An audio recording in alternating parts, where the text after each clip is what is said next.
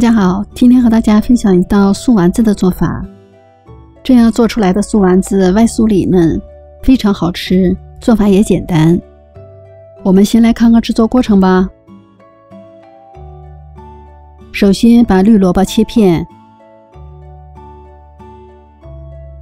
再切成丝备用。胡萝卜先切成片，再切成丝备用。小葱切末备用。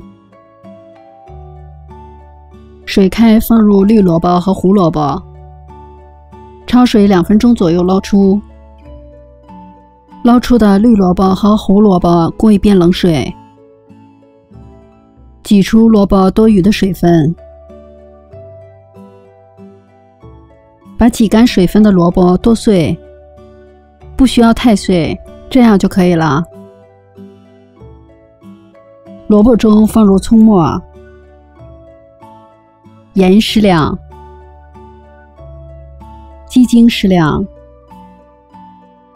胡椒粉适量，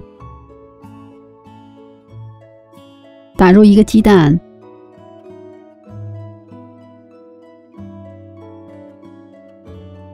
加入适量面粉，搅拌均匀。面粉不要一次加太多，分批加入，直到萝卜可以捏成团儿就可以了。锅中油温六成热，下入丸子，小火慢炸。丸子定型后，慢慢的翻面，直到金黄酥脆，捞出就可以了。全过程大概需要四分钟左右。